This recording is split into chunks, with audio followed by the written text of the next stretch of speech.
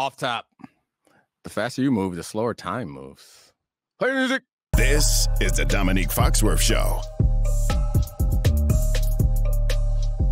Welcome to the Domonique Foxworth Show. Beautiful new set. My man Charlie Kravitz in the building. We're gonna have some fun today. Wosny later to talk basketball. It's a hilarious, fun, and informative conversation. So hang around for that. The best. yeah, Wosny's fun, and yeah, never mind. I won't spoil any of it for anyone, but stick around for that. Before we get to that, football. Football. All right, where you want to start? Uh, so I want to talk about what's going on sort of in media circles after the Super Bowl because we're now a couple days out and you turn on Get Up and you see you on a set making Me. faces because people are just absolutely ripping Kyle Shanahan and they're ripping him for a number of decisions that were in or out of his control. Obviously, him taking the ball first in overtime, uh, sort of hit how conservative he can be on certain third downs. You know, obviously, he went for the big fourth down that they converted George Kittle, but still uh, not adjusting defensively. Whether or not that was him or Steve Wilks, who knows? But my question coming out of that do you think that the criticism that's been put on Shanahan is warranted, or is just a game where he had some bad luck? Yeah, I mean, I think criticism is warranted for anybody, especially high profile. But I think some of the criticism has been hyperbolic in that it's maybe he can't get it done. Can he get past? And I understand. I like I work in sports television. I understand that part of it is just sports television, but it feels like a real thing because people are attaching the Falcons loss to him and they're attacking attaching that last Super Bowl. No, I'm not saying Hey, the they- Falcons one. I'm not saying that you shouldn't hang these losses on him, but to jump to the conclusion that now he's not going to be able to done, that's the part that confuses me and it's kind of annoying is that and it happens when we talk about quarterbacks too where once you get to a certain level of success, then we're going to start comparing you to that higher group. Yeah. And when you're comparing people to that higher group, and I'm guilty of this sometimes too, you start to say things that make it seem like the person that you're talking about isn't even good. And like Kyle Shanahan is still arguably the best offensive mind in football. Yeah. He's gotten to the Super and if you list his accomplishments, he's gotten to the Super Bowl with two quarterbacks that no one really thinks are great. An offensive line that's not very good right now, and a defense that's kind of fallen off. And he had leads, and this is where it gets 10 point leads. Yeah, 10 point leads against uh, Patrick Mahomes in both of those games, and a bigger lead against 24 point lead, right? Against or 28 to 3. 28 to 3. Yeah, that's a 25 point lead against uh, the Patriots when he was with the Falcons. And people jump to the conclusion that like he can't coach in the postseason and he does need to get better at clock management. He does need to be aggressive. And the fairest criticism in this last week's game is that he chose to receive the ball. And then it's not even that he chose to receive the ball. It's that he chose to receive the ball and then he chose to kick the field goal when they were down uh and within the red zone. That was the thing that Well, it's also, and that his players didn't know the rule. yeah, and so I get that. His players not knowing the rule, I can forgive that some because it's not going to change the way they play. I guess if you get to uh maybe it changes the way that Purdy plays or the decision that Purdy makes, but I don't really think so. You're not going to play any harder, or any less hard. You're already in the Super Bowl at overtime Right. him telling you the rules is going to change the way you play.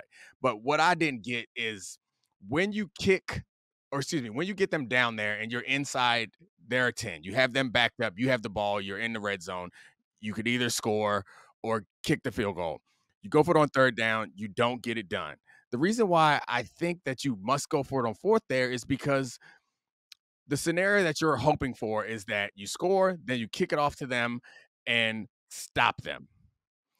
So why not go for it then? Then if you don't score, you have them backed up in great field position, which is essentially what you're going to create the next time around, right? Can you imagine if they had scored that touchdown and they started celebrating like they won the Super Bowl because they didn't know the rule? That was the only thing that would have been hilarious. I like it would have been the best case scenario. for for you who wants to laugh. But yeah, that that's a fair criticism. So I find myself very quickly. So immediately after game, like, yeah, let's criticize him. Let's say what he can do better, how he can get better, and he should. And Andy Reid is the perfect guy across on the other sideline because Andy Reid was that guy that we thought of like this when he was with the Eagles. But now he's not. But then you hear the way people are reacting, and it's different than the way we talked about Andy Reid. Eh, like, People were Andy Reid just was sort of before yeah, sports yeah, Twitter in a certain way I think that's the difference. Because there were clock management jokes about Andy Reid. that Yeah, I like, know. I brutal. remember. So that's what I'm saying. Yeah. I'm here for the jokes. It felt like to me, and maybe it was in my own little bubble that we weren't we weren't doing jokes. We were like, can he get it done? Should they move on from him? Like, is will he ever get past Patrick Mahomes? Like, guys, he could have won. Like, it's very close to winning Well- two of these games. And smart football fans are often pointing out sample size. These are two football games. He lost two football games. It does not, and he was in position to win them both. Acting like he's done is just, or he's uh, inferior in like some uh, way that he's not going to be able to address. To me, that's where the problem is. So I've I have a bunch of follow up questions I want to Okay. get through. So the first one is, can I can I drop some names? All right, name I was drop. on, I was on Radio Row at the Oh Super Bowl. yeah, Oh, we promised the people a Vant recap. We're gonna have to do that later because we're Technical difficulties. yeah we had technical difficulties, so we will get to the Vant recap eventually. Maybe we snuck in one Vant story last time. Maybe we can sneak in another one here. So anyway, what you got? So I was on Radio Row with Uh, Mina, and we were speaking to Myles Garrett and Denzel Ward, and we specifically asked all of them about the hell that Kyle Shanahan puts defenses in, and particularly the conflict they put uh, linebackers in. And Myles Garrett, admittedly, played against uh, the 49ers during Brocktober when they were at Brock Bottom, when they were missing Debo and Trent Williams. Um, but what he was saying is, we got interior pressure, we played man, and that's what put Yeah. In a in a in a tough spot. Right. And then you look at the game plan that the Chiefs were able to execute against the 49ers. They played so much cover zero, so much cover one, and they blitzed the hell out of Purdy, and it, it completely threw him a loop. If you're Kyle Shanahan and you have this amount of talent, you have six All Pros on offense. Um, your defense has, you know, the reigning defensive player of the year from last year. At a certain point, can you not adjust to that type of coverage? I know your Yeah, system is built a certain way. Yeah, no, there. So this is an interesting question. It might get a little football nerdy. I'll try to keep it yeah, I'll try to keep it as high level as possible. But as you know, one of my many maxims is trade offs. You're going Mhm. to have to make some trade offs. And so this system is designed around the uniquely dynamic or uniquely versatile players that Kyle Shanahan has. And even before the players get there, a lot of this system is about winning on first down and second down. They don't want to be in third down. Yeah. It's winning on first down and th- second down by running the ball effectively and play action. Play action works best when the opponents are in zone because the, the zone opponents have responsibilities behind them for the pass and run res- gap responsibilities in front of them. If you can get them guessing and confused, then you can take advantage of. it. The reason why man works is I don't have it's very clear. I go where he goes. If he runs Yeah. a route and he and they run the ball, that ain't my fault because he's the one that's responsible for blocking me and I can address it. If uh if they run the ball, you're in good situation there. Your box is already loaded if you're man coverage. So like that's why that works against there. The answer to that and this is where the interesting conversation about guys like Debo and Aiyuk come and Kittle come into this. The Mhm. answer to that, if you're going to get in man coverage, man coverage is hard. Finding corners, and this is why this system is so effective, is name a team that has two or three good cover corners and a good cover safety and a good cover linebacker. Like that can play man coverage tight enough that they won't give up any plays all game or any debilitating plays all game. If you have a team that can do that, then yeah, Kyle Shanahan's in trouble. But you know who else is in trouble? Every damn body. Everybody's in trouble if you can play lockdown man coverage all around the field. And part of the problem, and I'm hesitant to be critical, let's just again say that there are great players, even great players have some shortcomings. And the reason why Debo is great is also one of the shortcomings. Is Debo is an incredible run after catch player, physical, tough, strong guy. Debo ain't routing nobody up. So if you are capable of tackling well and playing man coverage ag- against Debo, then and you just isolate him and let him go man coverage against good to great corners, he does not have the advantage there.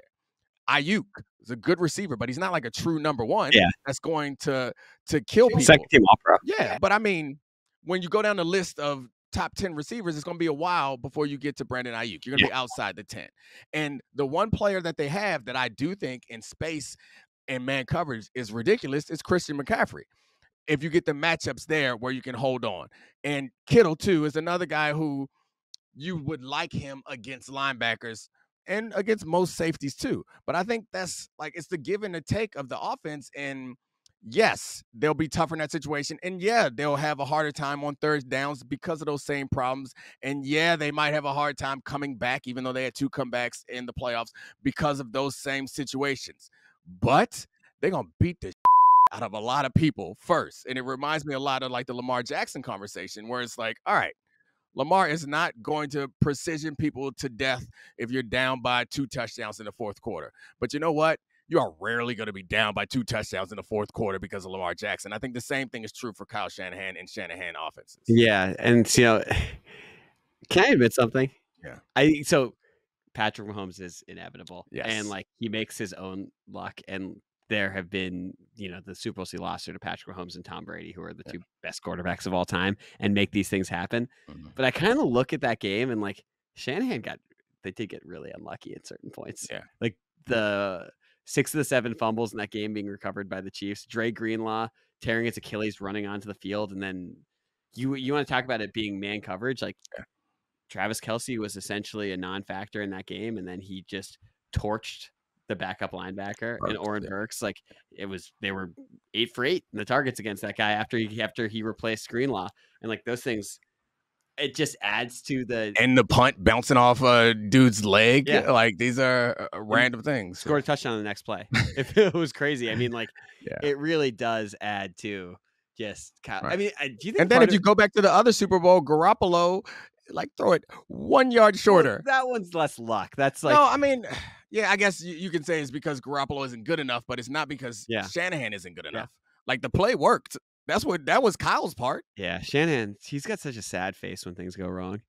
It's just and he you know he grew up around it and stuff. Yeah. So like it means a little something to like it feels like his I guess all coaches' identity is tied up in it, but him having it happen so many times uh just feels sad for him. That photo of him on the floor of the locker room holding the football behind the equipment cart, he I mean, unbelievable. He just it was a tragic figure. It could have been like someone the guy who does the uh like sports but make it art account yeah. should take that because I guarantee you there's some Greek mythological oh, yeah. figure in that exact post. Um, all right, so the follow up I have on this, and this is now we're going to get into um, the Florio report. So who knows the exact validity of these reports? He claimed to have talked to an NFL insider about this. I believe him. Um, he said that he could see Kyle Shanahan needing to move on to win a Super Bowl. Um, this is interesting. Their window has all of these guys in their late 20s or early 30s. They also have Brock Purdy on a deal through 2025 that is incredibly team friend friendly. But I think there are I think Brock Purdy's really good. I think building a team is different when you're paying him $50 million a year. I think that's a fair fair thing to say no matter what mm-hmm. you think of as a football player. So I would ask you, do you think Kyle Shanahan needs to win next year with this core or that he needs to find a new situation after that? Yeah, I mean, I think that he probably does need to win next year with this core. Does he need to find a new situation after that? I would say no. And maybe I'm just risk averse, but we take for granted all the moving parts that you have to have solidified in order to create a consistent competitor. Mm-hmm. And he's done it. And they've remade this team on the fly already a couple times and had success and that's in part because of the uh, in large part because of Kyle Shanahan, but also in part because of John Lynch and the general manager and the ownership structure and just having a system that works. So assuming that you can go somewhere else and build it again is a big assumption to me. I think we could point across the sideline to Andy Reid as someone who did it. Yes. But there's probably a lot more examples of people who weren't able to go somewhere else and create that success, or people who stayed where they were. Like I think um, Harbaugh comes to mind, mm-hmm. John comes to mind as they were going to move on from, but stick around till you get a quarterback, or mm-hmm. you stick around till you get uh, a new offense, offensive coordinator and defensive coordinator, and you figure it out. Or until Joe Flacco blacks out for four straight games.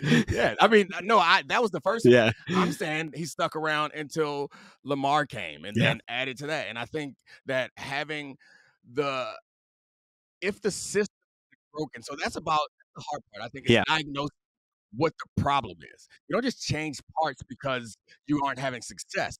If you're if you can pinpoint exactly why you aren't having success, and then you can change that part, and that's the Ravens come to mind as an organization that was run really well, but were falling on hard times, and they pinpointed the reason why they weren't having success, and they needed a upgraded quarterback, and they got that. And they were actually considering moving on. Like that was the rumor before Lamar came in Yeah. and won six in a row. They're like, we're going to move on from John Harbaugh, which kind of seems silly to me because nothing about the way they acquire talent, the way that they integrate talent, seemed to me like they were broken. And Yeah. I think that would be a mistake for for Kyle or for the 49ers to be like, hey, this ain't working. We don't know why. Let's change some things. Let's just move some stuff around. Do you think Purdy's gonna get better with his first healthy offseason? Yeah, I think that's a good. So to your point about do they have to win it right now? Um, I think the question is, can they have success in the future around Brock Purdy? I think so. I think given what he's shown us so far, it's really impressive at this point in his Yeah, career. he was fine in that game. Yeah, we say it all the time around here is that the best quarterbacks in football are the ones that come in in a good situation. He came in in a good situation and he's been playing well and he's going to have his first full healthy offseason. I think for them to continue to compete in the future, he's going to have to get better. Mhm. I also believe that because Kyle Shanahan is such a good coach that the assumption is that you need great players great, which is true. But I think you can put players because it's such an interdependent game. How great players are is a lot dependent on the circumstances. And I think Kyle Shanahan is the best in football at getting the best out of all of his players. So, given that, they'll rebuild. Like I have no there's no reason for me to believe after next year when they have to start making these tough choices. There's no reason for me to believe that Kyle and um and John are not going to be able to figure out the players they need later in the draft and how they can use them to make things more challenging because as much as we love the skill players they have now their O-line is not great but they still manufacture a really good running attack. And like we mentioned the limitations of some of their players they still they still manage to have one of the best offenses in the league. The real question is they're to get this defense back on track. Yeah. I mean, on our call, we were talking about this before the show, and you said that one of the things that Kyle Shanahan wants in a quarterback is like someone who's okay that he can Yeah. mold to be great. Do you think that's? Eh, I, I hear that, and I wonder if that's sort of an indictment on Shanahan. Can, like, can you imagine another coach not wanting someone Yeah. who can like yeah outside of that? So I don't want to eh, mislead anybody. I don't think that Kyle Shanahan wants a quarterback that's not that's just good and just okay. I think Kyle Shanahan is the best in the league at bringing the best out of okay mediocre quarterbacks. I'm not sure we haven't seen him with a great quarterback. I think Matt Ryan is the closest thing to that, but the more I learn about what was happening there, it's a lot more about Kyle scheming and Julio being great. They didn't call him Matty Ice because he was clutch. yeah. Goo- It's a- Google it. yeah, it's a lot more about those things than it was about uh, Matt Ryan being special. So the reason why I think it's it's fair to ask the question Mhm. at least is because his offense does not leave a lot of room for ad libbing. Although I guess maybe Brock Purdy pushes because he was ad libbing in this game, and maybe Brock Purdy is an example. And we know that they wanted that quarterback. Saying that he doesn't want that quarterback is crazy. They traded up to get Trey Lance because they thought he would be that quarterback. So I think Kyle wants it. It'll be interesting to see. I, I don't know if I think it was the Athletic before the game. There's an article about how much of a control freak Kyle Shanahan is. Yeah. And like he's overseeing big brother style all the meeting rooms. Like that is not a trait that is just isolated to the meeting rooms. He's big brother to his quarterback too. It's not a lot of at the line changing. It's not a lot of flexibility in the offense. And I think what that does is it creates a smaller bandwidth for uh, execution. It brings up the floor for every quarterback, but it brings down the ceiling. Yeah. Too. And so, yeah, if you have a quarterback like Patrick Mahomes that is his own high floor and the ceiling is forever, then you don't have to be nearly as uh, controlling of a coach. Maybe that's maybe it's a chicken or egg situation. Maybe he became this way because most quarterbacks aren't that good, and this offense is developed because most quarterbacks aren't that good. All right, before we get to Waz, any any uh Gallivant story you want to share? Because I have one. You can go first. Okay. Well, I got a pre Gallivant story that I want to tell. You stole my bag. That's how we kicked off the Oh- trip. oh my this God. Fool, this Oh my fool God. stole my bag. Oh, explain? Okay, so we're on the plane. Uh, Charlie's one row in front of me. We land, and everybody gets off the plane, and I get up to grab my bag, and I don't see my bag, and so I wait, let people get off, and still looking for my bag, and then I noticed that there's a bag on here that looks a little bit like my bag. a bag. little bit, uh, not the exact same blue away suitcase. A little bit like my bag, and has we can take the pictures. same model. Don't start defending yourself. You asked me if I had a story to tell. I'm telling a story. Look, a little bit like my bag. And I was like, oh, I get it. This person, this el- likely elderly person, forgot and just didn't think about it. And fortunately, I'm like stressed a little bit. It's like, "Ah, I guess I should have to go shopping or something, but whatever, no big deal. But I see because I assume this person thinks that they have their bag, so they're gonna take it all the way to their hotel. It won't be a problem. But I see that there's a tag on here, and I was like, "Oh, cool." I called Charlie, like, "Hey, Charlie, wait for me. I'm in here trying to figure out my bag situation. Oh, this sucks." And Charlie's like, "Oh yeah, that sucks. Let me look at this tag and get this person to call." Carrie? Eh, Hold on. This is your carry. I got your bag. That's of, right. Of the, That's I don't know, 200 people that are on that plane, Charlie managed to be the right okay, one to but steal my they bag. were blue away suitcases, the same exact color, directly next to each other in the overhead bin, and I just grabbed the wrong one. attention to detail. Yours had a tag, mine didn't. You can't be great without attention to detail. Uh, so my Gallivant story, that I'll tell really quickly. Okay. We were at a party on Thursday night.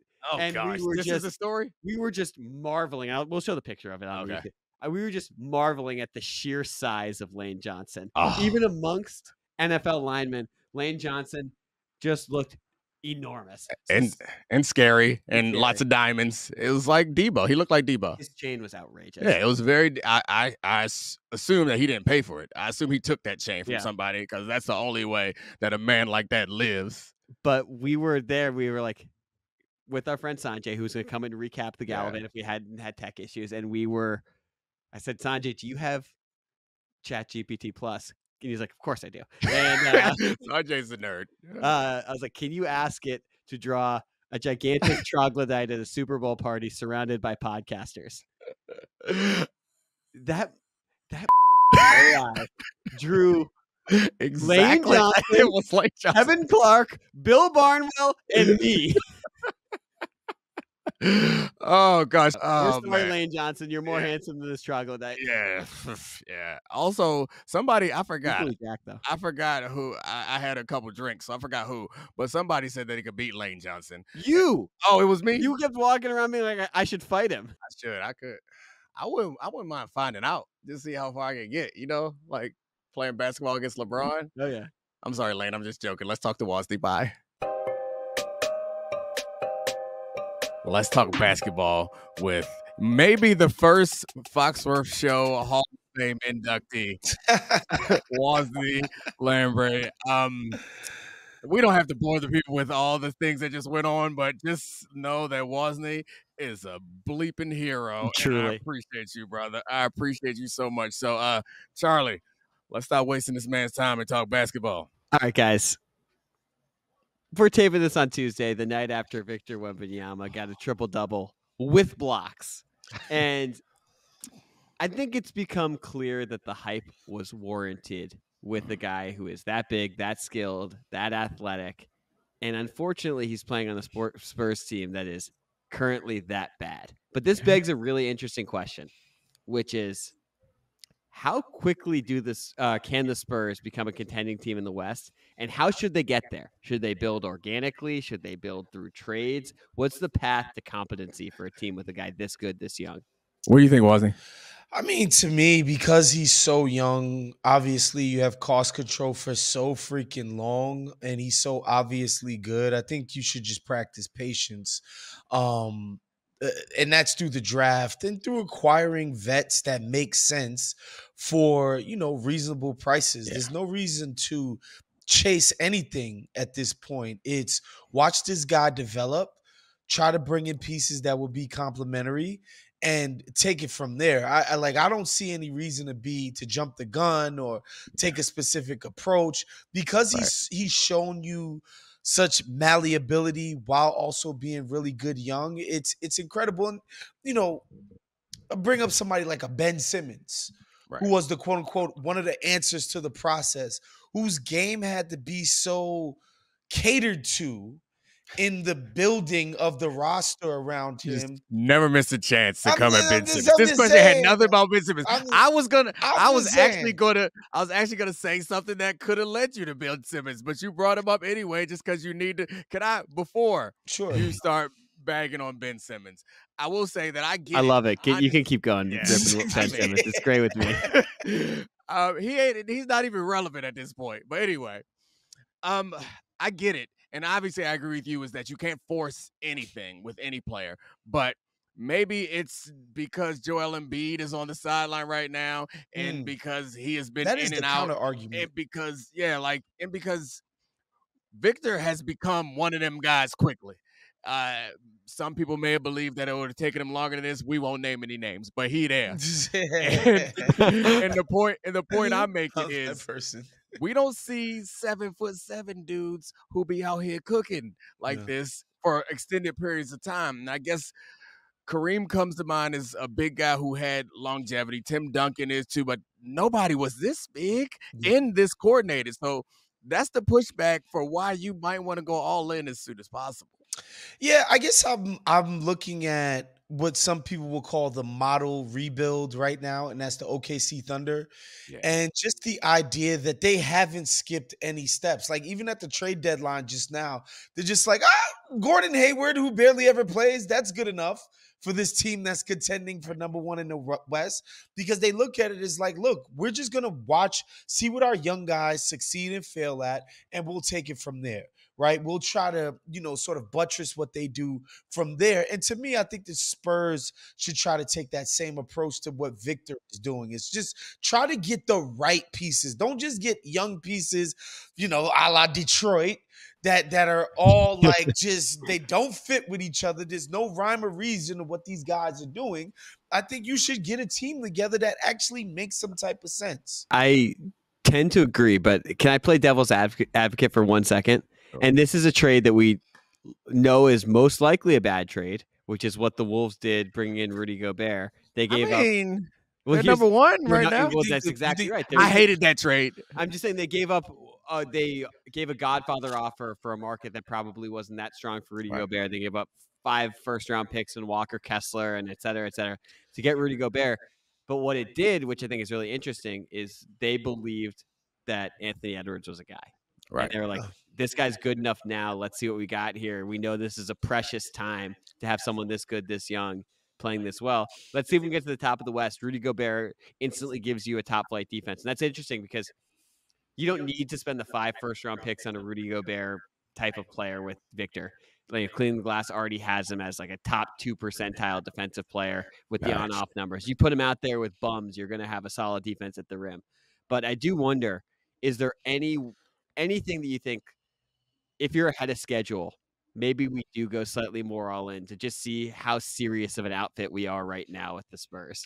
I mean, as as with anything, what what you should be trying to do, any team needs, you know, great creation on the perimeter. So the mm-hmm. Spurs, the, no matter what, I don't care how good Victor Wembanyama becomes, he'll never be some perimeter ball dominant guy. Uh, that you run every single thing on your offense to. Even as great as Joel Embiid is, he's been at his best with James Harden, clear all star guy who's headed to the Hall of Fame as a creator, and Maxey, who's turned himself into a straight up bona fide all star. Like, even Mhm. as great as Joel is, you still need a perimeter oriented player who can score efficiently or you know create for others in an elite fashion to make this thing go. So there's still going to be in the market for that type of player but they'll have you know cracks at the apple Yeah. I, all right. So obviously, the risk for going all in is that you mortgage your future and then you make it harder to build around Victor later on. But there's also risk for the OKC way. The OKC way is the way that you go about things when you don't have a superstar. Mm. Like that's how you go about things in order to acquire a superstar, right? So like assuming that someone's going to come along and I guess this is another it leads me to another interesting thought is there was a time in the NBA, and I'm not sure if that time is here or has passed, but it feels less important. But there was a time when it was incumbent on your star to recruit people to come to you. I don't know what Victor, what his uh what his game is like. I don't know if Victor can spit, but he needs to get people there because I think the argument for doing it OKC way only makes sense if you can be patient. And I'm not sure you can how patient you can be when you have a player this good. They they were waiting around and they knew everyone knew we could give OKC some junk until uh they wanted to move on from PG and get SGA. Like it just I just smiling like I'm saying something crazy. No, I was just looking at the 2024 free agent class. I was imagining him calling up LeBron and being like, "Come to San Antonio." That's the last person. That's the last person. Just, you caught me in a moment of giggling at Oh, yeah. I mean, because I think so. I I, I want to hear Wosny respond to those two things. One is, do we do we need? And Victor's young too, so his peers are not quite ready yet. Yeah. So one is, do does Victor need to uh be on the recruiting trail?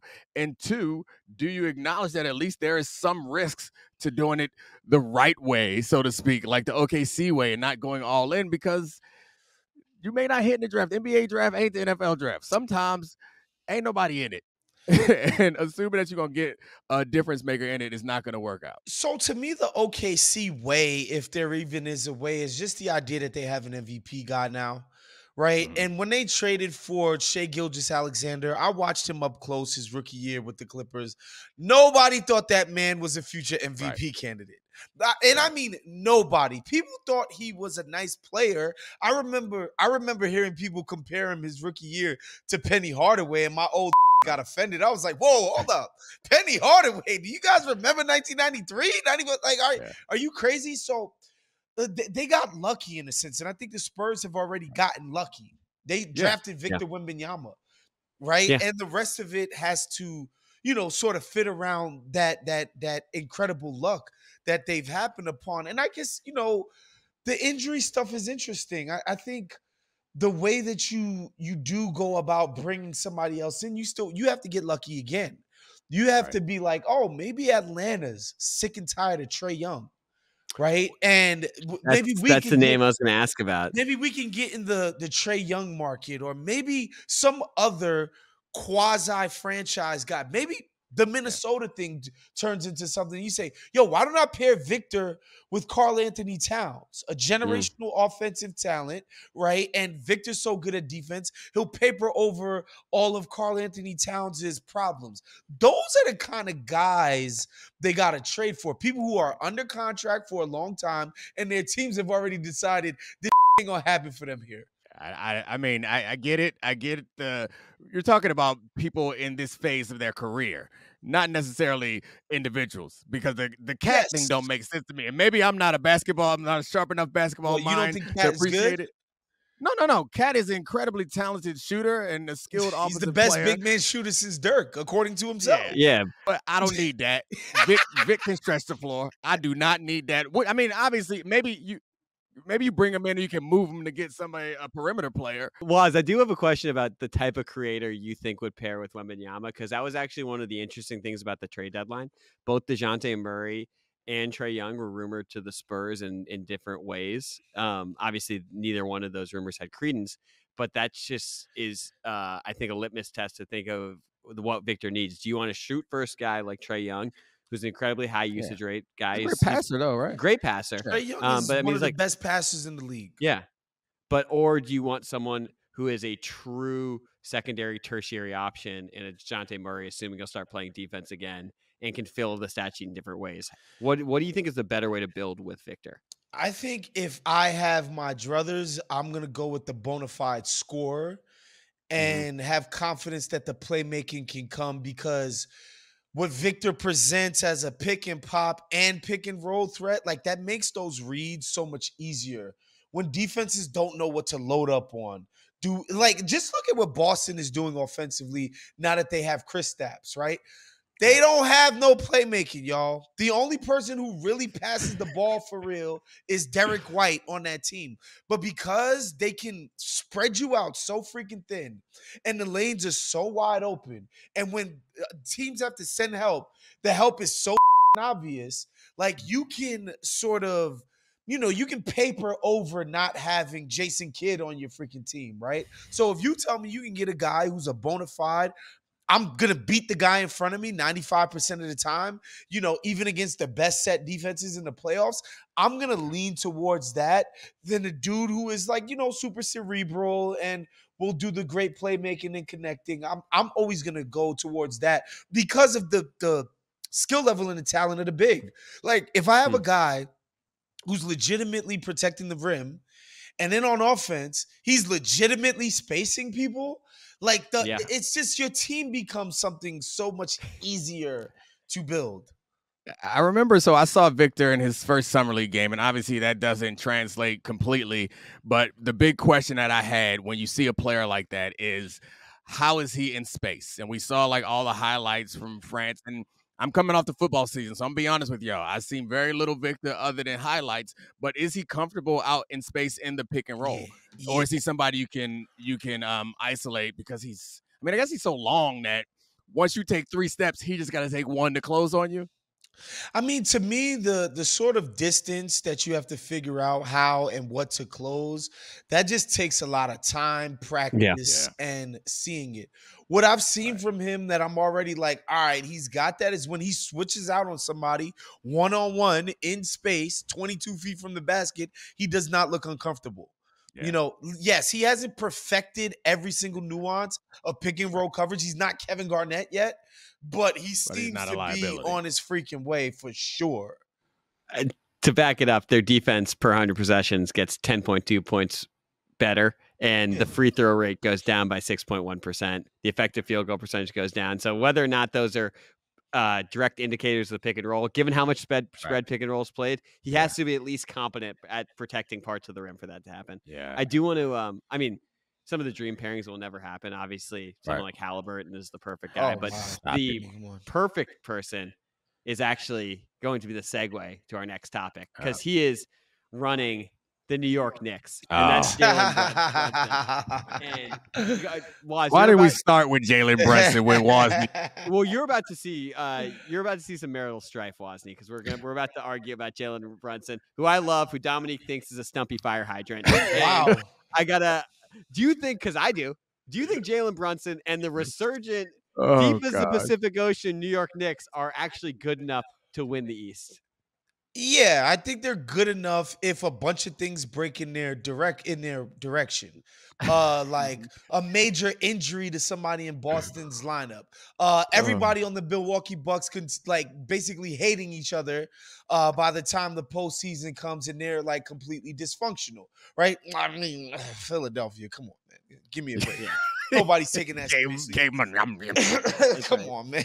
Um, and yeah, and so like I think there's a way that they could get to the finals. Would if I was drafting finals favorites out of the East, you know, they'd probably be in that oh. fourth range or whatever. You gave you you gave my man Charlie an idea. He loves to do drafts. So, so next week it seems like we're gonna be drafting teams out of the East. He, he got so excited across the You and think I, hated haven't it. already ranked them? So the, the funny thing is, Charlie was so excited because every time we the three of us get together, you and I are more likely to end up aligned. And I can Sure. see Charlie so excited about ganging up on me. And alas, the man No. who loves the Knicks agrees with me, even though he's an LA boy now. He agrees with me. Yeah. He said there was a path. Oh, you, yeah, I, did, I never said there wasn't a path. There's a path. I said, how they gonna get past the Celtics? Is what I said. And it's pretty much what Wazzy said. And then he named two or three other teams. there are a few things that have are one thing's already broken. That's Joel Embiid. Right, Gone. yeah. Get him out of here. See Yeah, ya next year. Uh, next one. Doc Rivers' brain. Doc Rivers' brain could easily break in the postseason. It's been done before. We've seen it. It happens every year. Oh. They better not get up 3 1. Uh, Dame Lillard's defensive liability. He's actually sort of a nightmare person you want guarding Jalen Brunson, who could put him in hell. And then Jayson Tatum and Jaylen Brown's will. Breakable. Breakable. I mean, they've that will has gotten them to the finals already. and we've seen the- Jimothy break it. okay, whatever. So anyway, the point is, Wazzy agrees with me, and they're a fun story. I would love to see it happen. I don't think anybody thinks it's out of the realm of possibility. However, yeah, depth is nice. Mm-hmm. High end talent is better, and the Yeah. Celtics got more of it. if I were to tell you that there was a New York Knick who was averaging 27, 5, and 7 on a super affordable contract. And like, let's just do blind resume. You would have thought Kevin Durant signed with the Knicks two years ago and would have been that guy. Wazzy, what were you about to say, man? I didn't listen to listen to Charlie hate hate on. He's gonna find a way What's to that- pivot to. I was just No, saying how good Jalen Brunson is. Nah, I know what it is, but you're trying to pivot to a way to, to hate on KD because it's one of your favorite pastimes. So, Wosny, what do you what I have to say? what I will say about the OG trade, one, you're seeing the on one of the only downsides already, which is the guy has been incredibly injury prone in his career, Mhm. but the upside has been freaking ridiculous. Um, Yes. and I think there's something to all of those plus minus records that he's freaking um breaking that every Knick fan that I know has been bandying and bandying about. And most importantly, to this discussion about Eastern Conference contention, I've seen OG Anunoby put Jayson Tatum in a straight jacket. We've seen Mhm. that before on an island. Just strap that fool up, and so I think they present plenty of problems for a team like Boston, for a team like Milwaukee. Like they're gonna, if they bring their full squad, they're gonna present a lot of problems. I just think ultimately offensive firepower is going to be an issue, and in the postseason, that will bring you down. I can't wait for the playoffs because uh, Charlie and I gonna have to make some wagers or something. He gonna have to put his money where his mouth is or some push ups or something. I've- I've this man don't he don't this- believe this foolishness. I've been saying this all year, and I think this year's Boston meltdown is going to be the most epic of them all. This We're back. this year's Celtics meltdown is going to because just the oh, this is the 27 Yankees. Oh my god, the the freaking media collective around this freaking team from the second they got Porzingis has made me sick. Okay, and and and so I'm I, I just can't wait for the playoffs, man. I It is gonna be really am looking forward to this thing. I love it. How would you compare this year's Knicks team to last year's Heat team? And that's a, I know they don't have Jimmy Butler, but but Brunson, someone 31 a game in the postseason last year, was sick with Luka the year before, and like this team has Thibs's identity. But I, Dogs. This what is the Thibs identity one that anybody oh, wants? Oh, Ice, Charlie, ice. Charlie, you chill. First of all, like first of all, first of all, Erik Spoelstra, we know, is probably the league's best coach. We know that. So that's a decided schematic advantage that they bring to every single postseason series. I would say, and Knick fans got mad at me for saying this. Bam Adebayo is so clearly better than Julius Randle. Like he's so clearly an Yeah. all NBA caliber player that Yeah. Julius Randle is not. Even though, you know, Julius Randle has pretty fadeaways and all of that stuff. Nobody thinks Julius Randle's a better player than Bam Adebayo. And more importantly, he plays the five. Like, and he scores and he's just better. And the thing that distinguishes Jimmy from Jalen Brunson is just size. It's like Jalen Brunson ultimately, they're going to be able to throw a bunch of size at this guy. And in a way that size just doesn't bother Jimmy as much. Yeah. He's his physicality is crazy. I, and again, offensively, the Heat, they have an actual system. Like people don't talk about it, but they have a Golden State type of, you know, beautiful game type of system that they can the bring Knicks to bear system? too. what do you so, what, like, what if that's beautiful game, on. Golden State, what's the Knicks system? Hold on. Also, they were disgusting to watch offensively before they hit 50% of their threes in the playoffs. They were I mean, despicable to They've watch been offensively. despicable. they've Charlie, been but despicable like this year on generating offense. threes is the name of the game. Like that's what they do. Like Yeah. they're really good at it, and then they can do the individual stuff, the one-on-one stuff with Jimmy. And so I just think there's a talent sort of reliability as far as like the things that Bam and Jimmy have accomplished in the postseason that doesn't yet exist on the Knicks squad. Like Julius Randle's postseason record is it's the argument against everything, every optimistic view of the Knicks. I have no rebuttal to that, except for that. Are we sure he's going to be in their closing five in the postseason?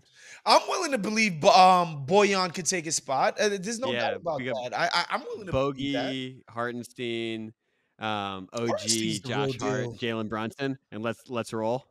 they're not gonna just bench this guy completely in the playoffs. It's just, you know, it's just a matter of are his step back fadeaways, long twos going to drop or not. Um, and that's that's been the bugaboo of the Knicks the last two postseasons. Can you think of a worse thing to be relied upon? in your life. And that segues us to, segues us to our next topic because Yeah. there's only one worse bet than Julius Randle's long twos, and that might be the health of the Clippers. Ah, And so I'm, I'm talking about this because the Clippers have been spectacular this season. Kawhi has been incredibly healthy. He's already played 48 games. Um, in his last 30 games, he's shooting 56, 50, 92. Uh, a couple, uh, they've dropped a tiny bit a couple days ago. They were number one in the West. And you look at that as a team that has Kawhi Leonard, who's been one of the best playoff performers of the last couple decades when he's been healthy. And it raises the question is your only concern with the Clippers their health?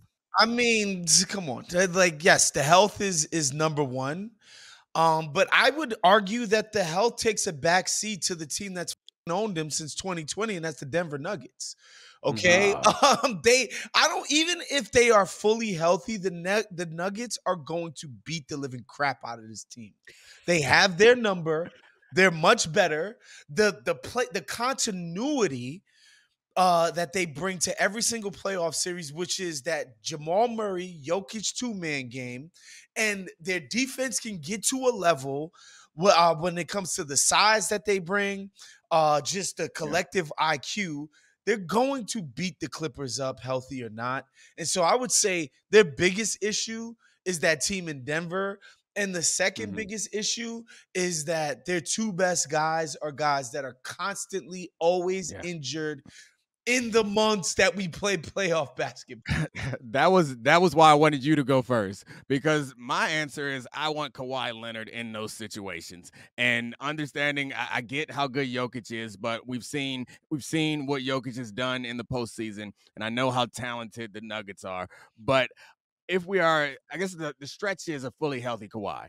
That's something that we can't have faith in, but I love the concept of a fully healthy Kawhi uh, and talent around him that's healthy. But I know I can tell by the look in Charlie's eyes that this was just an elaborate way for him to on James Harden. No, no, no, no, no, no, no. I he is canceled out by Kawhi Leonard. I, I mean, Waz brings up the the really important point, which is that Jokic is the best player in the world, and he's going to Yeah. be guarded by Zubac and Mason Plumlee, and those guys have been really nice. Like Zubac has been a, had a really nice connection with James Harden, but it's completely different when you can just get completely eaten by that ornery grizzly bear coming Who from Denver.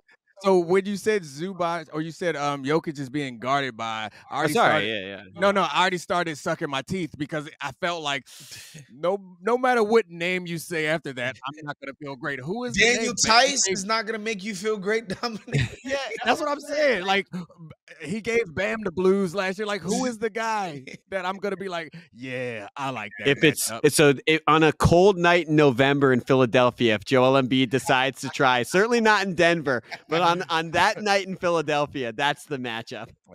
Speak. Hold on. I just want to ask you guys, just as a side, because I, I know you guys are plugged into this conversation, and I know Domonique's sympathies. But Charlie, um, when people were blaming the media for Joel Embiid or fans for everybody wanting to see Joel Embiid play basketball, Thank you, thank you.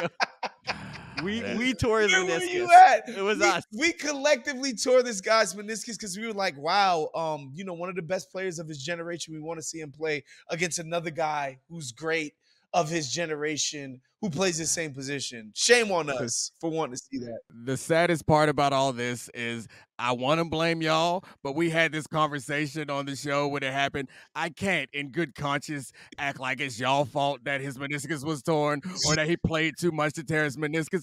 He a big dude who moves weird, Yeah. and stuff happens, and people fall on this basketball. Like I don't think that the rule. So like the The the, The fall 65 wasn't even the cause of the meniscus. What's not the cause? So oh, they said that was a sleight of hand. yeah. I mean, I, I didn't like any of that, and I mm. refuse to engage in that unserious foolishness. I can stand on the fact that I believe the 65 game minimum Yes. is is dumb. foolish. But and mm-hmm. I, I wanted badly to seize on that and use it as a reason to drive the 65 game, but it just felt dishonest. The 65 game thing is dumb for a number of other reasons, but that didn't hurt Joel Embiid. Yeah. That's like uh, that's stupid. So you guys win that one. in the 65 game, get rid of max contracts, get rid of all of that foolishness because it makes basketball worse. It does. Because the max contract is, is one of the biggest problems in NBA, in my view, is because it for it allows for teams to load up with more superstars than they deserve, and it also yeah. forces teams to pay bums that don't deserve to be at that level, which wow. hampers those teams from being successful. Get rid of max contract, get rid of salary caps, we'd be better off. You mean Karl Towns wouldn't get paid just as much as LeBron if we didn't have max contracts? Right.